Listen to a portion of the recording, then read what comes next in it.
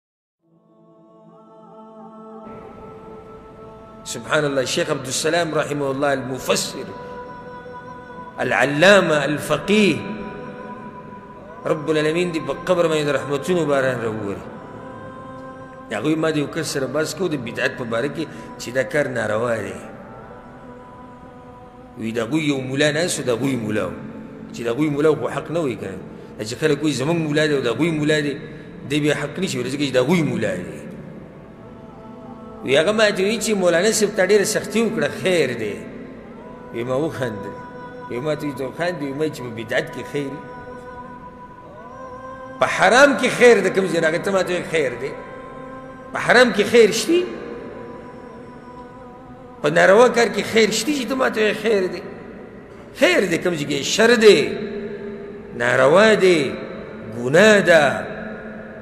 دسی ټکی وایه ته خیر دی خیر څه شي خیر خو په قرآن او حدیث کې پروت دی خیر خو په دین کې پروت دی نو کله چې د دینداري خبر راشي بیا موږ خیر دی جی او په دنیوي کار کې چا ونه وي چې خیر دی یا لکه دا زوی دی منزل نه راځي جومات ته بس را به شي را به شي خیر دی او دا زوی دی کار له نه ځي د سره وایي زه وګورم وایي دی ما ته کور کې سره ناستی لوی سنډه د هلکانو خو دغه یوې مزدوري کوي چې مزدوري نه کوي کور نه دي اوسي زما دا خبرې به حقیقتي انشاءالله که نه سي زوی دې ګیره خریلې ده